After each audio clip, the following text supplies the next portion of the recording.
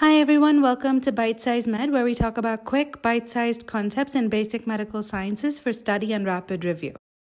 This video is on carbon dioxide transport in blood.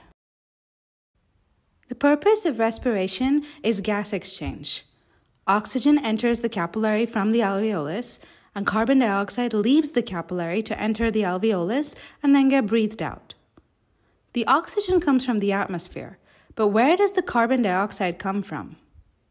If we backtrack it, carbon dioxide in the pulmonary capillaries is from mixed venous blood that comes from the pulmonary artery, which came off the right heart, receiving blood from all the body tissues.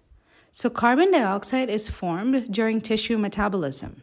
The tissues use oxygen and form carbon dioxide.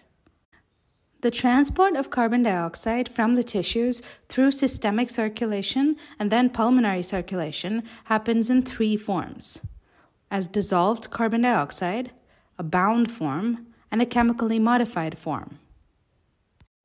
Dissolved carbon dioxide is around 5%.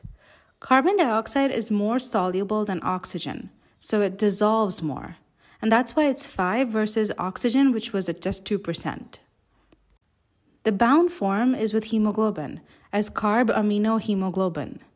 This is around 20%.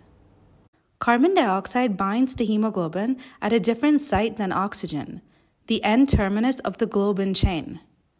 The binding of carbon dioxide to hemoglobin reduces its affinity for oxygen, shifting the oxygen dissociation curve to the right.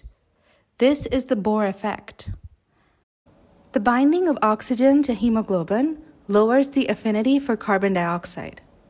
So, if less oxygen is bound, that means there's a higher affinity for carbon dioxide. And this is the Haldane effect. So, let's see how these work together.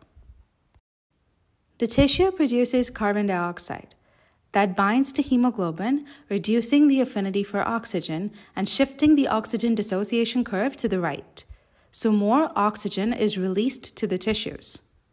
That was the Bohr effect. Now, the removal of oxygen from hemoglobin increases hemoglobin's affinity for carbon dioxide, for the carbon dioxide that the tissues have produced. The most important form in which carbon dioxide gets transported is chemically modified as bicarbonate, around 70%. The carbon dioxide from the tissues diffuses into the capillaries. It binds to water, and by carbonic anhydrase in the RBCs, it forms carbonic acid. That then dissociates into a hydrogen ion and a bicarb ion. Now, these reactions are reversible. The bicarbonate leaves the RBC. To maintain ionic balance, a negative ion enters. That's chloride. This is by the anion exchange protein, that's the band 3 protein. And this is the chloride bicarbonate exchange, also called a chloride shift. If the hydrogen ions were to remain as such, it would create an acidic environment, so it gets buffered by hemoglobin. That maintains the pH of the RBC and the blood. Now the bicarbonate is in the plasma, and the hydrogen ions have been buffered by hemoglobin. They travel to the lung and reach the pulmonary capillaries. Here, oxygen is diffusing from the alveolus into the capillary.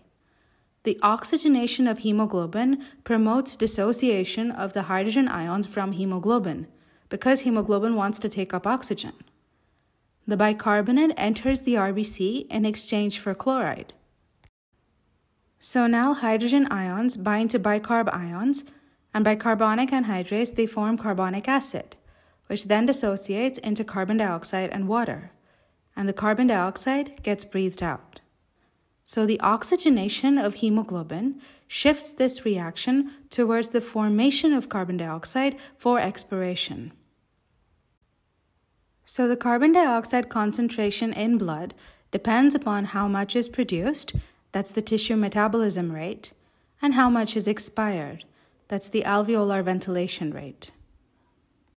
And that is the journey that carbon dioxide takes from the tissues to the lungs. If this video helped you, give it a thumbs up, share, and subscribe. Thanks for watching, and I'll see you in the next one.